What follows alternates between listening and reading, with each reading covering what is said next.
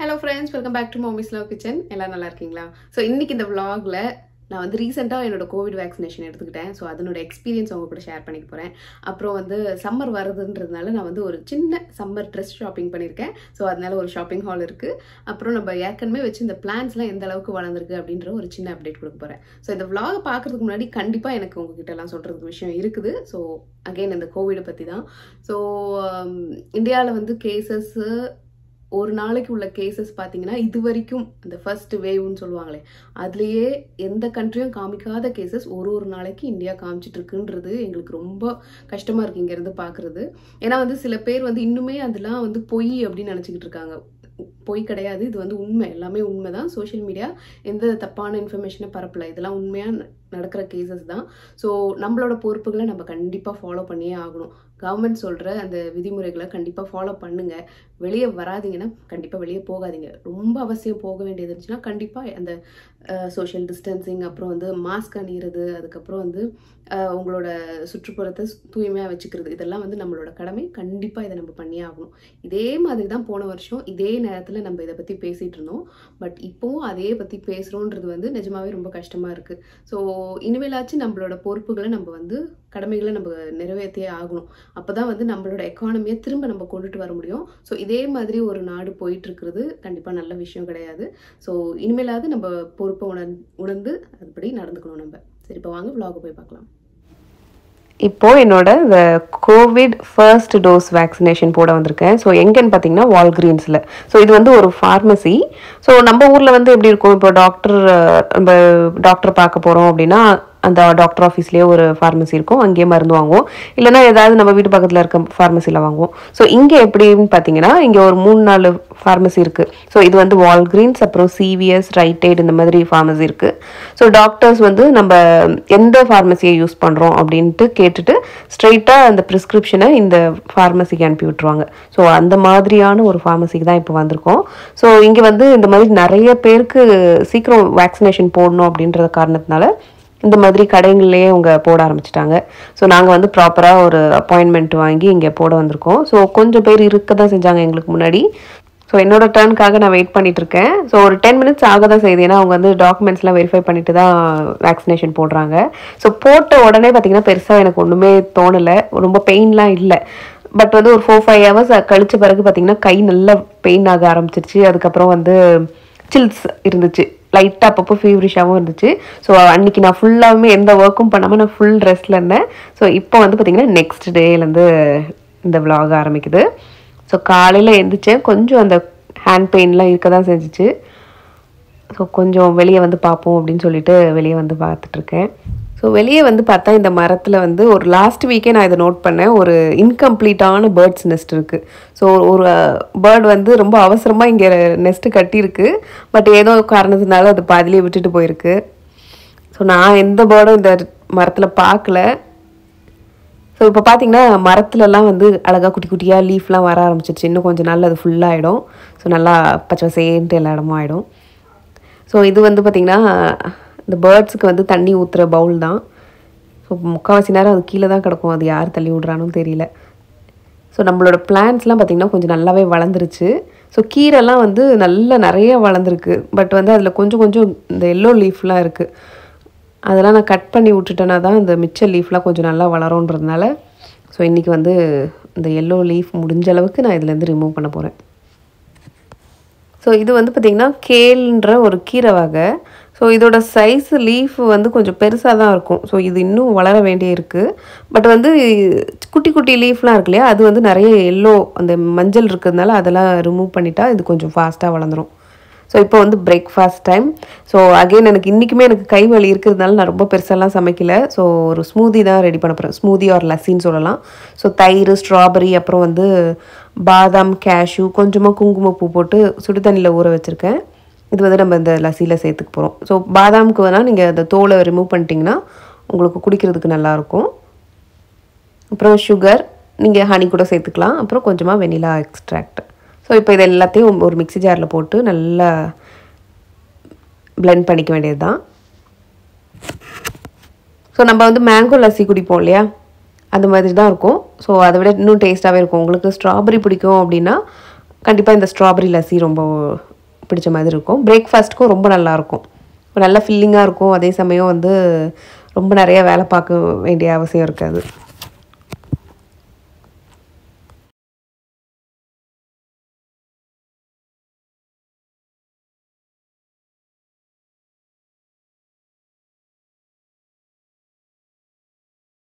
So இப்போது இந்த fruits எல்லாம் போட்டு நல்லா அடிச்சுட்டு அதுக்கப்புறமா நம்ம கடைசியாக தயிர் போட்டு நல்லா திரும்ப இன்னொரு வாட்டி அடிக்கலாம்.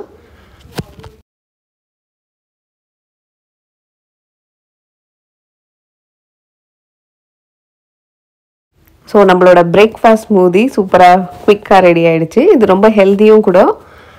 ஸோ கண்டிப்பாக ட்ரை பண்ணி பாருங்கள் வித்தியாசமாக இருக்கும்.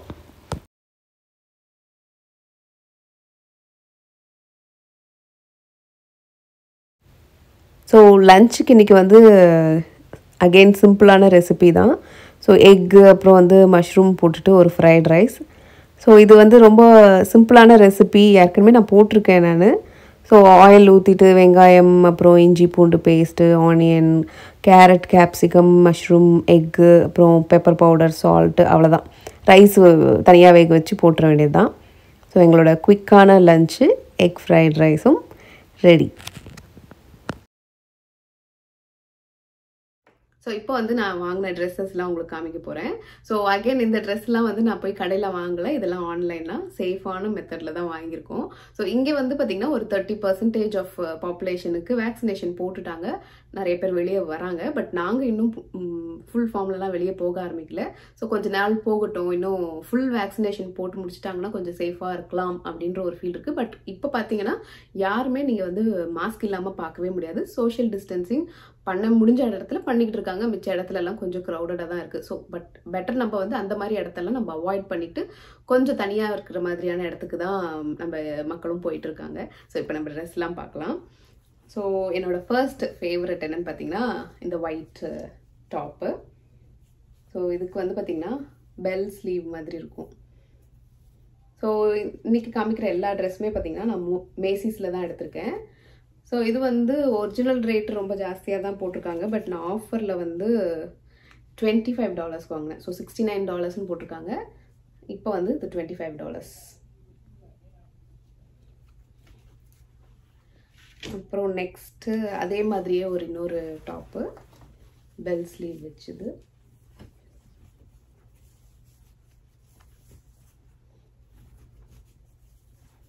ஸோ இது வந்து நேவி ப்ளூ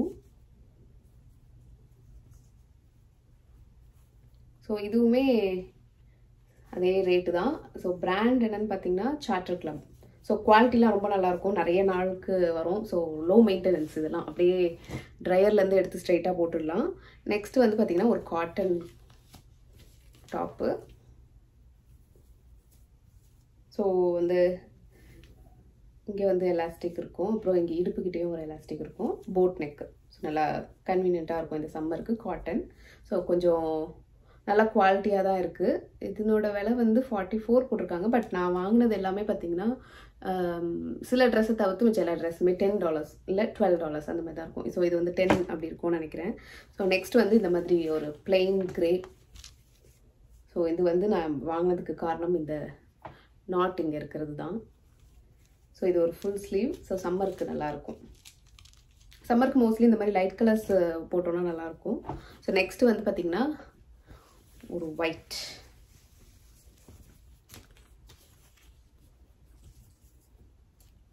ஸோ இதில் நடுவில் சீக்வன்ஸ் இருக்குது ஸோ ஏதாவது ஸ்கர்ட்ஸோட நம்ம பேர் பண்ணிக்கலாம். ஸோ அதுக்கு தான் மெயினாக இதை வாங்கினேன் நான். அப்புறம் நெக்ஸ்ட்டு ஒரு ஷர்ட்டு ஸோ இது எனக்கு ரொம்ப பிடிச்ச ஷர்ட் ஸோ இது வந்து கோல்ஸில் வாங்கினேன். ஆஃபரில் டென் டாலர்ஸ் அப்படி போட்டிருக்காங்க. ஸோ இது ஒரு காட்டன் ஷர்ட்டு ஸோ எனக்கு இந்த கலர் ரொம்ப பிடிச்சிருக்கு. அதனால் ரீசெண்டாக எனக்கு இந்த எல்லோ கலர்லாம் ரொம்ப பிடிக்குது. ஸோ முன்னாடிலாம் பார்த்தீங்கன்னா எனக்கு இந்த எல்லோனா ரொம்ப பார்த்தாலே ஓடிடுவேன். ஸோ இப்போ வந்து ரொம்ப பிடிச்சிருக்கு. ஸோ நெக்ஸ்ட்டு பார்த்தீங்கன்னா இந்த டாப்பு ஸோ இது வந்து பார்த்தீங்கன்னா இந்த மாதிரி வீ கட்டு அப்புறம் ஸ்லீவ் வந்து த்ரீ ஃபோர்த்து ஸோ இது வந்து பார்த்திங்கன்னா நல்லா ஹெவியாக இருக்குது நம்ம ஈவன் வின்டருக்கு கூட போடலாம். ஸோ ரிங்கிள்ஸ்லாம் அகெயின் இதுக்கும் இருக்காது. ஸோ லோ மெயின்டெனன்ஸ் நெக்ஸ்ட்டு வந்து இந்த மாதிரி ஒரு டாப்பு ஸோ கையில் இந்த மாதிரி டைப் பண்ண மாதிரி வச்சுருக்காங்க. ஸோ இதுவும் காட்டன் தான். ஸ்டைல் அண்ட் கோ அந்த பிராண்டு ஸோ கண்டிப்பாக சம்மருக்கு ரொம்ப லைட் அண்ட் சாஃப்டாக இருக்கும். அப்புறம் நெக்ஸ்ட் வந்து பிளாக்கு ஸோ பிளாக் வந்து என்னோடய ஆல் டைம் பிக்கிங் லிஸ்ட்டில் இருக்கும் ட்ரெஸ்ஸு ஸோ இந்த வாட்டியும் ஒரு பே பிளாக் எடுத்திருக்கேன். ஸோ இதில் வந்து பார்த்திங்கன்னா இங்கே ஒரு நாட் இருக்குது கொஞ்சம் டிஃப்ரெண்ட்டாக ட்ரை பண்ணுவோமேன்னு சொல்லிட்டு இந்த மாதிரி எடுத்திருக்கேன். ஸோ இதெல்லாம் வந்து ஒரு நல்ல ஒரு த்ரீ ஃபோர்த் பேண்ட்டோ இல்லைனா ஒரு காட்டன் பேண்ட்டோடு பேர் பண்ணால் ரொம்ப அழகாக இருக்கும். அப்புறம் நெக்ஸ்ட்டு அகெயின் ஒரு எல்லோ ஸோ இந்த எல்லோ டிஷர்ட் வந்து பார்த்திங்கன்னா இந்த மாதிரி கீழே ஷிஃபான் கிளாத் மாதிரி கொடுத்துருக்காங்க. ஸோ இதனோட விலையெல்லாம் கூட டென் டாலர்ஸ் அவ்வளோதான் இருக்கும். ஸோ இவ்வளோ தான் நான் மேசிஸில் வாங்கின இந்த சம்மருக்கு உள்ள ட்ரெஸ் பர்ச்சேஸ் இவ்வளோ தான் ஸோ உங்களுக்கு இதெல்லாம் பிடிச்சிருக்கும் அப்படின்னு நினைக்கிறேன். So evening snack and dinner ரெண்டும் சேர்த்து வந்து நான் ஒரு கொழுக்கட்டை. இது வந்து நான் ரொம்ப நாளாக பண்ணணும்னு நினச்சது. எனக்கு சாப்பிடணும் போல் இருக்கிற ஒரு இது. ஸோ கேரட் வச்சு நம்ம இலை கொழுக்கட்டை தான் பண்ண போகிறோம் ஸோ இதுக்கு ஒரு பேனில் ஒரு ஹாஃப் டீஸ்பூன் நெய் போட்டுட்டு நல்லா திருவின கேரட்டு அதை போட்டுட்டு ஒரு நாலு நிமிஷம் நல்லா இது வதக்கிக்கலாம். அதுக்கப்புறம் தேவையான அளவு சர்க்கரை சேர்த்துக்கலாம். ஸோ நான் இன்றைக்கி வந்து ஒரு மூணு கேரட் எடுத்திருக்கேன். அதுக்கு ஒரு கால் கப் அளவுக்கு சர்க்கரை போட்டிருக்கேன். இது ஒரு ரெண்டு நிமிஷம் நல்லா வதங்கட்டும். இந்த மாதிரி மெல்ட் ஆகி வரும். ஸோ இதனோட வந்து நான் இன்றைக்கி கொஞ்சம் தேங்காவும் சேர்த்துக்க போகிறேன் ஸோ இந்த கேரட் கலவை இருக்கு இல்லையா? இதுக்கு வந்து கொஞ்சம் இனிப்பு கூடுதலாக போட்டால் தான் நம்ம கொழுக்கட்டை சாப்பிடும்போது கரெக்டாக இருக்கும். ஸோ அதனால் வந்து நீங்கள் ஈக்குவல் ப்ரொப்போர்ஷன்லேயே கேரட் அண்ட் சுகர் கூட எடுத்துக்கலாம். இப்போ வந்து நான் கொழுக்கட்டை மாவுக்கு ரெடி பண்ணிகிட்ருக்கேன் ஒரு பாத்திரத்தில் ஒரு ஒன்றரை கப் அளவுக்கு தண்ணி ஊற்றிட்டு தேவையான அளவு உப்பு. கொஞ்சமாக இருந்தால் போதும் உப்பு. அப்புறம் ஒரு ஹாஃப் டீஸ்பூன் எண்ணெய். இப்போ ஒரு முக்கால் கப் அளவுக்கு அரிசி மாவு போட்டு நல்லா மிக்ஸ் பண்ணிக்க போகிறேன் ஸோ இது நான் சொல்லணும்னு நினச்சேன். ஸோ நீங்கள் வந்து வேக்சினேஷன் போடுறீங்க அப்படின்னா உங்களோட லெஃப்ட் ஹேண்ட் யூஸ் பண்ணிக்கோங்க. ரைட்டுனா உங்களுக்கு வேலை செய்கிறது ரொம்ப கஷ்டமாயிடும். லெஃப்ட்டுனா அது ஓகே மேனேஜபிளாக இருக்கும். ஸோ அதனால் நீங்கள் இது ஃபர்ஸ்ட் எக்ஸ்பீரியன்ஸ்னால் நீங்கள் லெஃப்ட்டே ப்ரிஃபர் பண்ணிக்கோங்க. இப்போ நான் வந்து இலையில நம்ம ரெடி பண்ணி வச்சுருக்கிற இந்த கொழுக்கட்டை மாவு வச்சு நல்லா அதை தின்னாக நல்லா தட்டிக்கலாம். ஸோ இது நல்லா வெந்து வரும்போது பார்த்திங்கன்னா நல்ல வாசனையாக இருக்கும் அந்த வாழை இலையோட வாசனையோட. ஆக்சுவலாக இதை வந்து um, ட்ரெடிஷ்னலாக இது வந்து பலாப்பழம் இருக்கு இல்லையா? அதை வச்சு செய்வாங்க. பட் வந்து எங்கள் வீட்டில் பலாப்பழமும் சில பேருக்கு ஒத்துக்காது. அதனால நான் வந்து அதுக்கு பதிலாக கேரட் வச்சு பண்ணுறேன் பட் பலாப்பழம் வச்சு பண்ணிங்கன்னா ரொம்ப நல்லாயிருக்கும். அதுக்கு ஈக்குவலண்ட்டாகவே வந்து பார்த்திங்கன்னா இந்த கேரட் கொழுக்கட்டையும் ரொம்பவே நல்லா இருந்துச்சு. நீங்கள் ட்ரை பண்ணி பார்க்கலாம். ஸோ இந்த கொழுக்கட்டையை தட்டி வச்சுருக்கோம் இல்லையா? அதில் ஒரு டேபிள் ஸ்பூன் அளவுக்கு இந்த கேரட் பூரணத்தை உள்ளே வச்சிடலாம். வச்சுட்டு இந்த மாதிரி இலையை மூடிட்டிங்கனாலே அது வந்து சீல் ஆகிடும் ஸோ உங்களுக்கு சீல் ஆகலைன்னு லைட்டாக தண்ணி தொட்டுட்டு நீங்கள் சீல் பண்ணி விட்டுக்கோங்க. ப்ரெஸ் பண்ணி விட்டுட்டிங்க அப்படின்னா அது நல்லா பிடிச்சிக்கும். ஸோ நம்மளுக்கு இட்லி தட்டில் தான் வச்சு வேக வைக்க போகிறோம் ஸோ அதனால் கொஞ்சம் எக்ஸஸாக இருக்கிற லீஃபை கட் பண்ணிக்கிறேன். ஸோ இதே மாதிரி நம்ம எல்லா எல்லா கொழுக்கட்டையும் ரெடி பண்ணி வச்சுட்டோம். இப்போ இட்லி தட்டில் இந்த மாதிரி வச்சு நம்ம இதை ஒரு டென் மினிட்ஸ் இதை ஆவியில் வேக வச்சிடலாம்.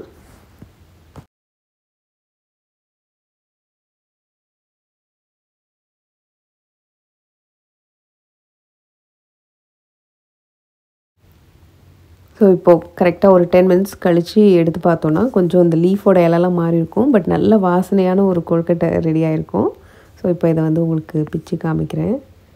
ஸோ கலருமே ரொம்ப அழகாக இருந்துச்சு. டேஸ்ட்டுமே வந்து பார்த்திங்கன்னா கேரட்டு ஒரு காய்கறி வச்சு ஒரு கொழுக்கட்டை பண்ணியிருக்கோன்ற மாதிரியே தெரியாது. ரொம்ப சூப்பராக எம்மியாக இருந்துச்சு. கண்டிப்பாக நீங்கள் இந்த ரெசிப்பியை ட்ரை பண்ணி பாருங்கள் ஏன்னா ஃப்ரெண்ட்ஸ் இந்த விலாகும் உங்களுக்கு பிடிச்சிருந்துருக்கும்னு நினைக்கிறேன். பிடிச்சிருந்துச்சுன்னா மறக்காமல் நம்ம சேனலை லைக் பண்ணி ஷேர் பண்ணி சப்ஸ்கிரைப் பண்ணிடுங்க. இதே மாதிரி இன்னொரு வீடியோவில் உங்களை சந்திக்கிறேன். நன்றி வணக்கம்.